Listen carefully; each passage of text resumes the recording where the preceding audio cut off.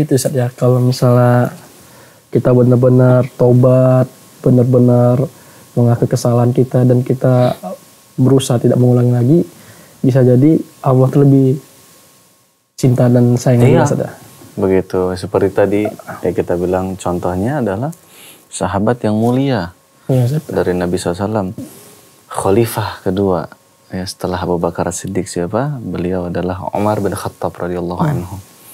Ya kan kita tahu bagaimana dulu eh, beliau sebelum masuk ke Iya, dalam iya, Islam ya, iya, kita Ustaz. mungkin kisah tentang beliau sudah masyhur lah ya. Iya, iya. Bagaimana kekejaman beliau sebelumnya terhadap Nabi SAW gitu. Tapi akhirnya beliau menjadi apa? Orang yang mulia. Orang yang mulia Masya Allah. orang yang dicintai oleh Nabi SAW, orang yang dijamin surga oleh Nabi SAW. Ya Allah, Akbar.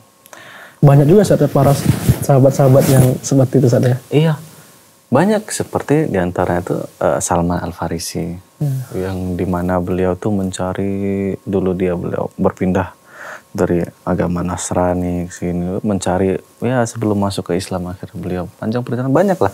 Dan banyak hampir ya mungkin eh, para sahabat-sahabat senior Nabi SAW dahulunya juga sebelum datang Islam di antara mereka banyak yang juga hanyut dalam perbuatan dosa mereka meminum khamar dan lain sebagainya.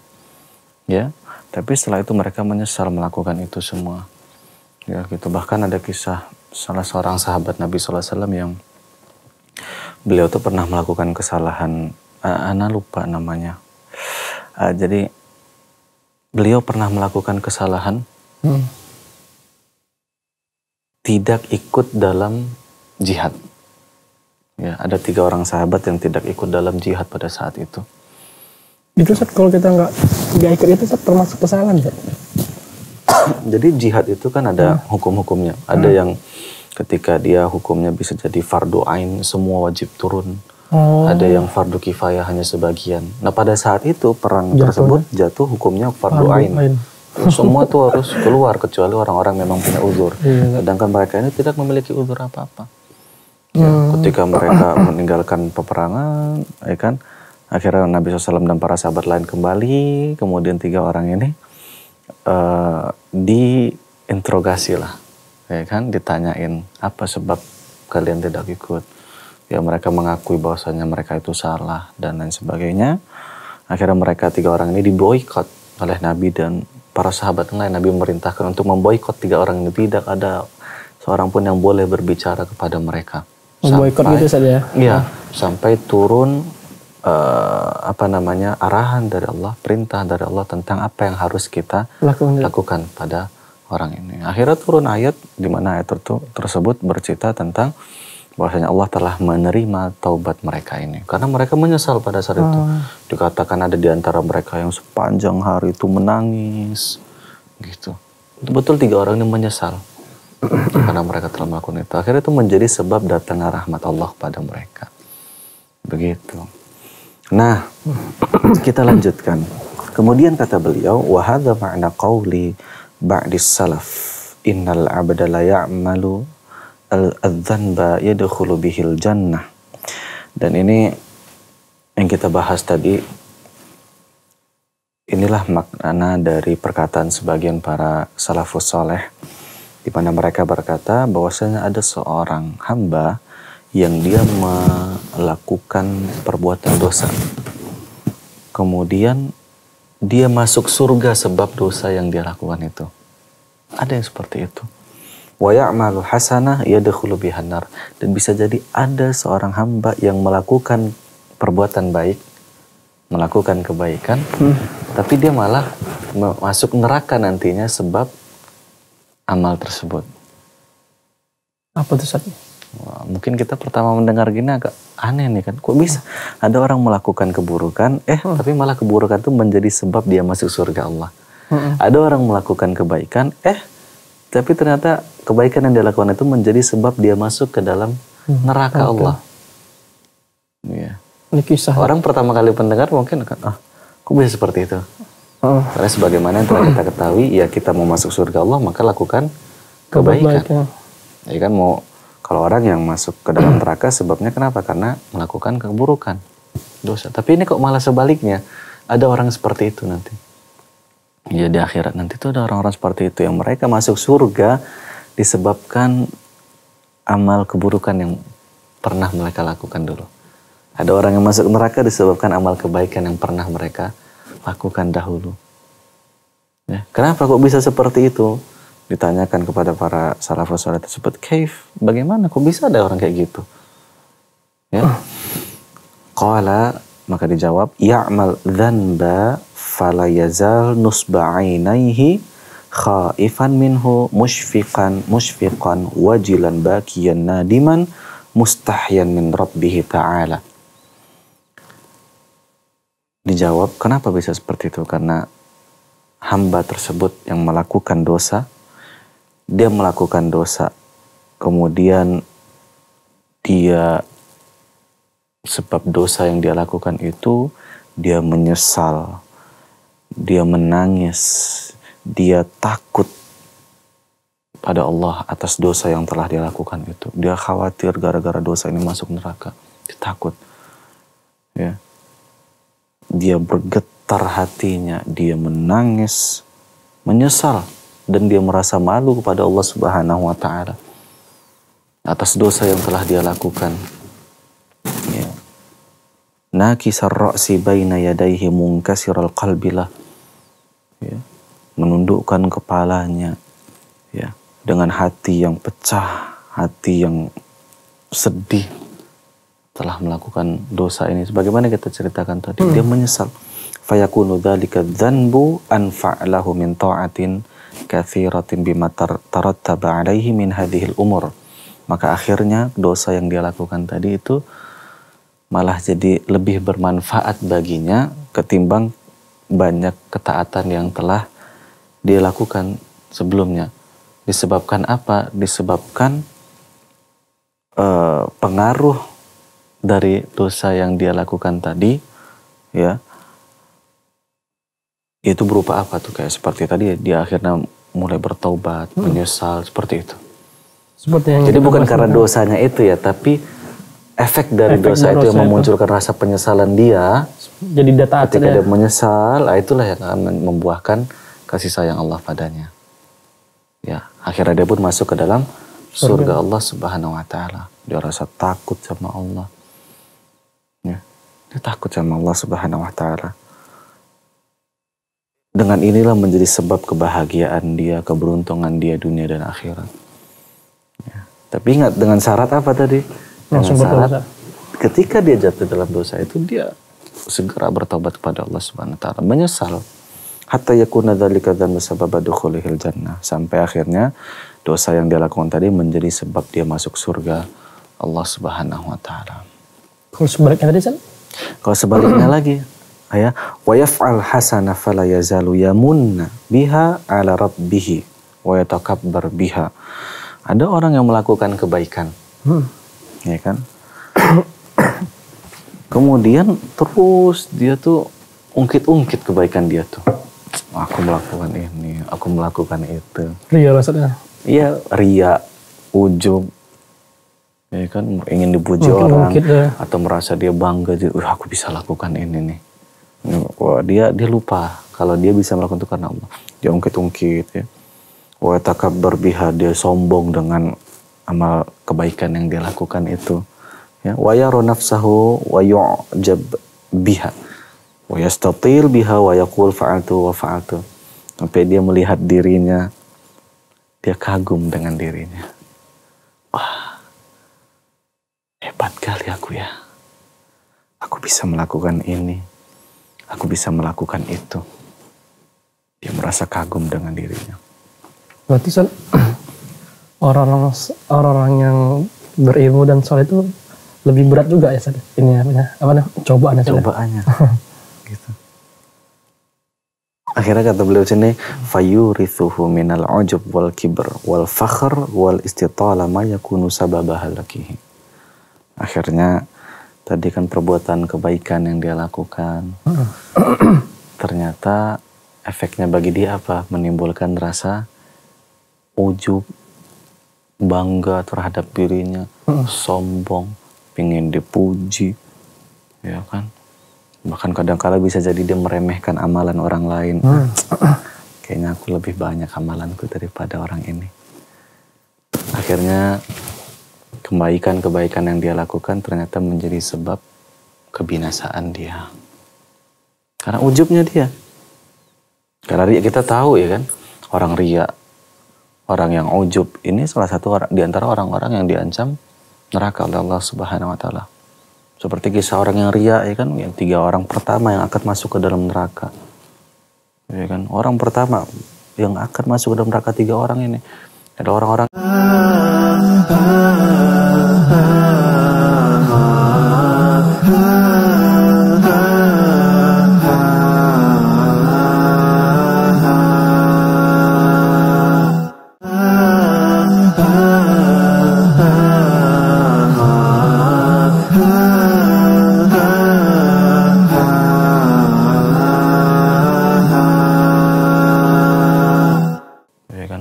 pertama yang akan masuk ke dalam neraka tiga orang ini. Adalah orang-orang yang ria. Yang dia melakukan dalam sebuah hadis kan dikatakan dia melakukan apa namanya bersedekah ingin dipuji dikatakan orang dermawan. Dia berjihad ingin dikatakan sebagai pahlawan. Dia belajar dan mengajar ingin dikatakan sebagai seorang alim. Ya. Dia membaca Quran ingin dikatakan sebagai kori orang alim dan sebagainya Akhirnya mereka tiga orang pertama yang akan dimasukkan ke dalam neraka Allah SWT. Alhamdulillah min Ya ternyata kebaikan yang mereka lakukan malah menjadi sebab kebinasaan mereka.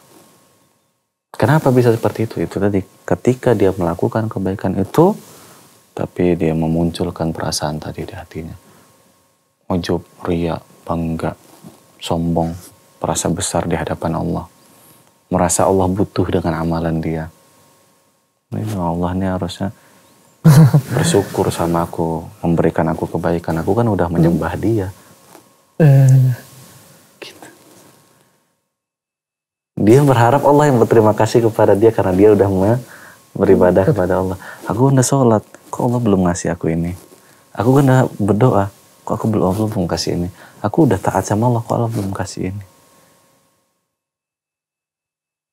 Dia berharap Allah berterima kasih sama dia atas ketaatan yang dia lakukan kepada Allah. Bahaya nih kan. Na'udzubillah min dzalik. Maka uh, apa namanya? Kita lah justru yang butuh dengan amalan-amalan kita itu. Jangan sampai kita merasa sombong.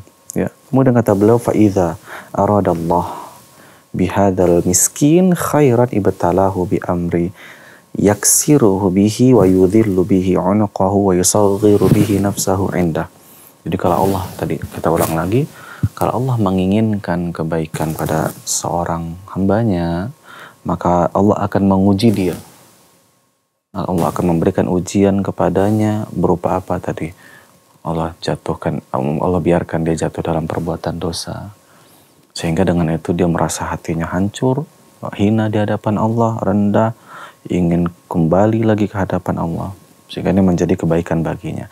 Dan sebaliknya wa in arada bihi ghaira dzalika khallahu wa ujbahu wa kibrahu wa hadha huwal khudlan al mujib li halakihi. Tapi kalau sebaliknya Allah menginginkan keburukan pada seorang hamba Allah akan biarkan dia. Allah akan lepaskan dia. Allah nggak akan membukakan pintu taubat kepadanya. Maksudnya Allah akan biarkan dia nggak memberikan taufik padanya untuk bertobat kepada Allah menyesal atas dosanya. Sehingga Allah akan biarkan dia dengan rasa ujubnya itu, dengan rasa sombongnya itu. Ya orang-orang tadi melakukan kebaikan tadi itu. Ya Allah biarkan dia. Wahadahu wal khudlan al mujib lihalaki. Akhirnya ini menjadi apa? Sebab Allah menelantarkan dia. Yang akhirnya menjadikan dia binasa. Jadi seperti itu. Dalam sebuah syair para ulama mengatakan wal ujbu fahdharhu innal ujba mujtarifun a'mala sahibihi fi saylihil aram. Ingatlah, ujub itu jauhilah ujub. Karena ujub itu bisa apa namanya menghanyutkan amalan-amalan pelakunya amalan solehnya tadi. Itu bisa menghanyutkan amalan pelakunya ke dalam sungai arus yang sangat deras. Jadi bisa sia-sia amalan kita. hangus. Gitu. Nan- kita sholat malam 12 jam. Ngantung kalau 12 jam lah. 6 jam kita sholat malam. Sepanjang malam kita sholat pagi harinya kita ujub Wah, masya Allah nggak masya Allah lagi masya Allah masih penting tapi dia nggak mengatakan apa-apa wah hebat kali aku nih ya bisa sholat malam di mana yang lain sedang tidur semua Walaupun nggak disampaikan ke orang-orang. Kita Iya. berpikiran seperti itu Ah. aja udah ujub. iya itu ujub dalam hati kita nih Oh iya, iya. walaupun dalam hati kita nih kita Udah merasa merasa hebat gitu ya. wah kayaknya aku lebih baik daripada si kawan si kawan si kawan Hmm. itu wajib walaupun dia nggak sampaikan ketika dia udah menyampaikan ini bisa jadi ria eh tadi aku sholat malam ini jadi ria nah ini sedikit ada perbedaan antara ujub dengan ria Iya. ya kan ujub itu ya tadi walaupun dia belum menyampaikannya masih dalam hatinya ini ya dalam hatinya dia merasa bangga hebat. Sesempit itu, ya. Celah-celah itu, ya. iya Celah-celah tadi yang untuk menyesatkan itu, ya. Iya. Sebegitulah. Wih, aku dalam hati ini pintas. Wah, ini udah banyak nih konten-konten dakwah yang aku buat.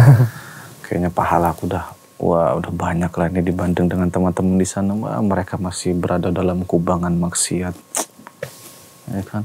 Sedangkan aku alhamdulillah ini nggak muji Allah lagi tuh mending kalau bilang alhamdulillah ini sedang aku nih wah ini aku udah siap nih udah banyak amalanku ya kan aku buat ini Siap aku buat sudah. itu ya Wah, oh aku punya jasa dari sebab aku dia nih akhirnya orang ini bisa eh, selamat ya. Misalnya dia nolong orang nih, dia merasa bangga. Wah, Tapi nggak nggak nggak menutup kemungkinan ya, kayak orang-orang yang memang memang yang melakukan itu tiba-tiba ber- berpikiran seperti itu. Sat. Gimana? Ibarat kan Mm-mm. eh, orang-orang yang soleh itu kan melakukan banyak amal. Tadi walaupun dia merasa berbangga di hatinya itu kan ibaratnya ujub saja. Yang nggak menutup kemungkinan dia bisa berpikiran seperti itu saja. iya bisa jadi. Nah tapi bedanya seorang mukmin yang benar keimanannya, yang yakin dengan Allah Subhanahu Wa Taala, ketika terlintas hal itu dalam hatinya, dia langsung menepisnya. Oh ya saja. Oh iya iya. Langsung ya. langsung berbeda dengan orang yang eh, sebaliknya ketika muncul perasaan terus dia hanyut dengan wah iya, Terbang dia, terbang senang dipuji apa semua gitu kan merasa bangga itu itu bedanya. Orang mukmin masih mungkin masih mungkin terlintas dalam hatinya itu keburukan. Keburukan tuh mungkin. Tapi tadi dia langsung menepisnya ah astagfirullah. Nggak boleh ini semua karena Allah. Aku nggak ada begini aku begitu. Aku bukan apa-apa. Ini semua pertolongan Allah. Aku bisa begini aku bisa begitu. Anda pernah juga saat eh, sama apalah saat temen juga saat lumayan soleh lah. Beliau ada puji ya. Jadi ketika ada puji itu Anda dengar dia pelan-pelan astagfirullah, astagfirullah gitu. Sat. Mungkin karena itu saat ya. iya mungkin dia ingin menjaga hati Iya Sat. jangan sampai gara-gara pujian kita itu akhirnya dia merasa bangga ya kan dengan dirinya makanya kita nggak boleh sembarangan memuji orang sebenarnya begitu suatu hari ada salah seorang sahabat dia ketika itu Nabi SAW sedang duduk di dalam masjidnya. Kemudian di ujung sana ada salah seorang sahabat yang sedang sholat. Kemudian masuk sahabat yang lain dan bilang kepada Nabi SAW ketika dia melihat sahabat yang sholat itu sahabat yang baru datang ini bilang kepada Nabi SAW "Eh, orang ini luar biasa sekali sholatnya gitu. Ya pokoknya khusuknya begini dan begitu. Ya. Baru apa kata Nabi SAW kepada sahabat yang tadi ingin memuji orang yang sedang sholat itu kalau seandainya engkau katakan ini kepada dia maka engkau telah menghancurkan seluruh hidup Iya. itu bahayanya kita Bahaya memuji sudah. orang atas kebaikan dia lakukan Berarti kalau dia mau buat baik udah biarkan aja Sat, ya. Iya. Iya benar. Astagfirullah. hati-hati kita makanya kan Nabi SAW itu kan apa namanya eh, perintah Nabi itu kalau ada orang yang dia itu hamad. Apa tuh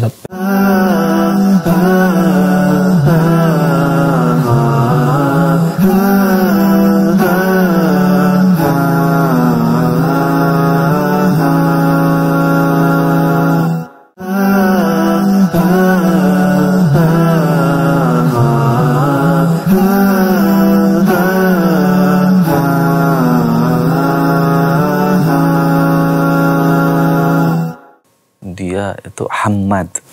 Apa Ustaz? Itu tukang muji, suka muji orang. Woi, fulan. Oh, iya. Nampak orang padahal nggak ada apa-apa yang dikerjakan. Ada orang kayak gitu, Oh, masya Allah, antum begini. Ah, gitu-gitu lah.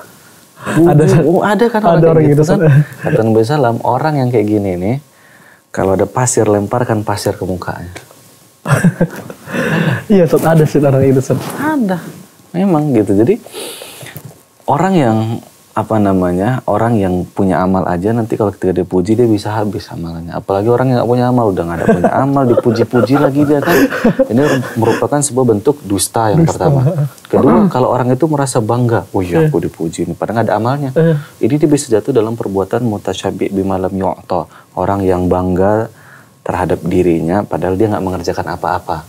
Ini sifat orang munafik nih gitu. Allah sebutkan dalam Al-Quran. Maka seperti ini eh, bahaya namanya pujian itu.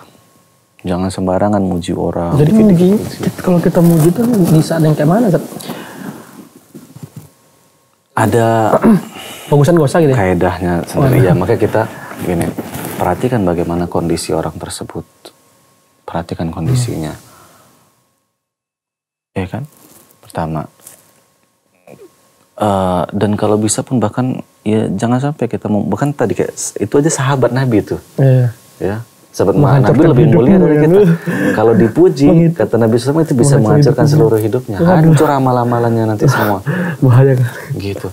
Maka ya memuji itu sebatasnya seperlunya. Kalau bisa dan sandingkan dengan eh, kuasa Allah Subhanahu Wa Taala. Artinya oh masya Allah ini Hmm, berkat pertolongan Allah antum bisa melakukan ini gitu kan Ingatkan dia, semoga Allah ya. berikan antum keistiqomahan ini begitu iya. Jadi dia kan lebih mengingatkan saudara. Ah, ketika melihat teman ini mengerjakan iya, subhanallah, rajin ya, sedekah iya. gitu kan. Akhi, ah, Masya Allah gitu, Ana senang sekali. Allah mudahkan antum untuk bersedekah seperti. Jadi ketika kita sebutkan itu, yang dia ingat itu adalah Allah, Allahnya, iya, bukan iya, dirinya iya. lagi. Oh iya, Nggak ini ada celah ujubnya, aku ya. bisa begini Allah. Begitu. Hmm. Masya Allah, Ana senang akhi melihat antum tuh. Allah mudahkan antum untuk bisa bersedekah, membantu orang. Mudah-mudahan Allah berikan keistiqomahan sama antum. Gitu kan. Begitu. Kalau melihat teman melakukan amal-amal soleh, kebaikan dan sebagainya.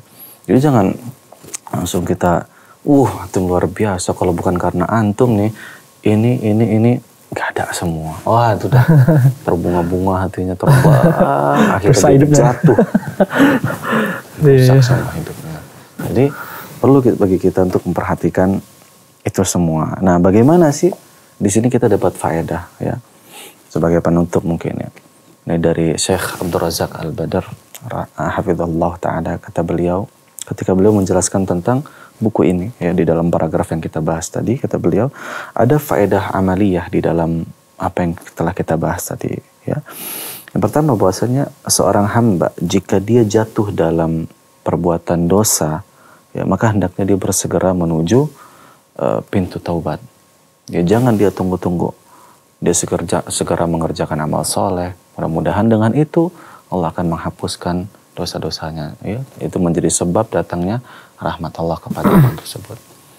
Kemudian yang kedua, jika sebaliknya, kalau tadi kan kalau jatuh dalam perbuatan dosa, kalau sebaliknya kita mendapatkan nikmat Allah berupa apa? Allah mudahkan kita untuk mengerjakan amal soleh misalnya, ya, maka lihatlah dari dua sisi, ya.